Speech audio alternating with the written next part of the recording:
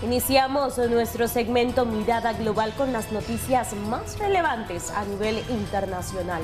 Pero es Odili Vargas quien tiene la primera noticia para todos nosotros. Así es, Aire Aguilar y amigos televidentes, un hombre fue puesto en custodia, esto en relación con la muerte a tiros de un obispo católico reconocido por su trabajo como mediador comunitario, así anunció el departamento del sheriff del condado de Los Ángeles. El obispo auxiliar David O'Connell fue hallado muerto en su residencia del barrio de Hacienda el sábado en lo que se investiga como un homicidio, así informó el departamento en el condado de Los Ángeles. Los agentes encontraron a O'Connell tras responder a una llamada de emergencia poco antes de la una de la tarde, dijo la asistente Lisette Falcón a medios de comunicación internacionales. Miembros de la comunidad católica de Los Ángeles y líderes políticos elogiaron a O'Connell y expresaron su impacto por la muerte. Es un shock y no tengo palabras para expresar mi tristeza, dijo el arzobispo de Los Ángeles José Gómez, esto en un comunicado el sábado en el que dio a conocer la muerte de O'Connell.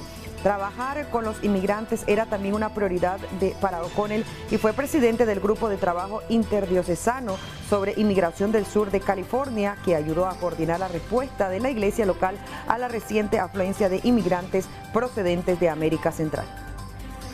Hablamos ahora de Brasil porque un fuerte temporal de lluvia está azotando precisamente ese país que ya ha dejado 40 personas fallecidas y al menos 2.500 evacuados. Brasil movilizó este lunes a cientos de efectivos para encontrar posibles sobrevivientes del fuerte temporal que azota el litoral de Sao Paulo, al tiempo que las autoridades confirmaron el aumento de la cifra de 40 fallecidos.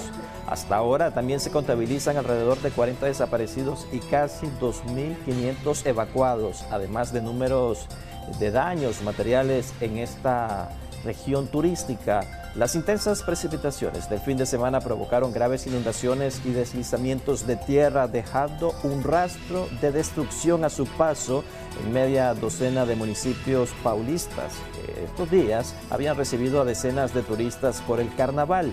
El gobierno de Sao Paulo calificó de desastre una de las mayores tragedias de la historia de la región que llegó a acumular nivel de lluvia récord en el país de 682 milímetros en menos de 24 horas. Muchas comunidades continúan aisladas por vía terrestre, incomunicadas y sin suministro de agua ni electricidad, mientras más de 600 efectivos del cuerpo de bomberos, la policía, las Fuerzas Armadas y Defensa Civil se afanan en las labores de rescate según fuentes oficiales. Casi 2.500 personas se han visto obligadas a abandonar sus hogares y están alojadas en escuelas y organizaciones de la sociedad civil.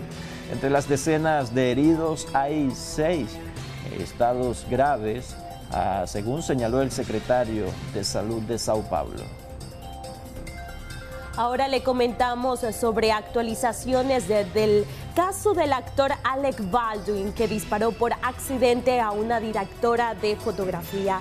Los fiscales de Nuevo México redujeron a Alec Baldwin los cargos de homicidio involuntario relacionados al disparo mortal durante el rodaje de la película Rust lo que disminuiría la pena de prisión a la que se enfrenta el actor por la muerte de Halina Hutchins, directora de fotografía de la película en el set.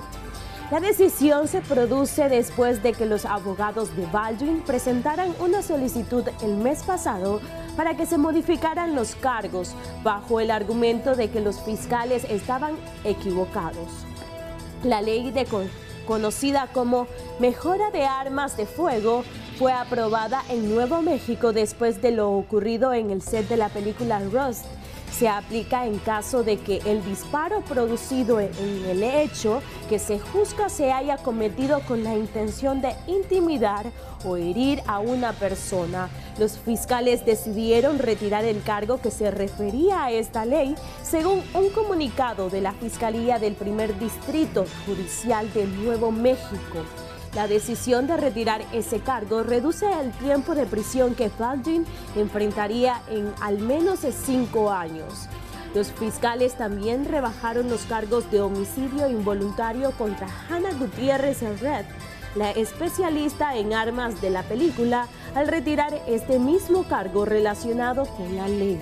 Gutiérrez Red Como resultado de la decisión, también enfrentará menos tiempo en prisión si la declaran culpable. Aplaudimos la decisión de la Fiscalía de desestimar el cargo y fue la decisión correcta éticamente y en cuanto al fondo, dijo el abogado de Gutiérrez Red en un comunicado. Los abogados de ambos insistieron previamente en que sus respectivos clientes son inocentes. Es todo en mirada global.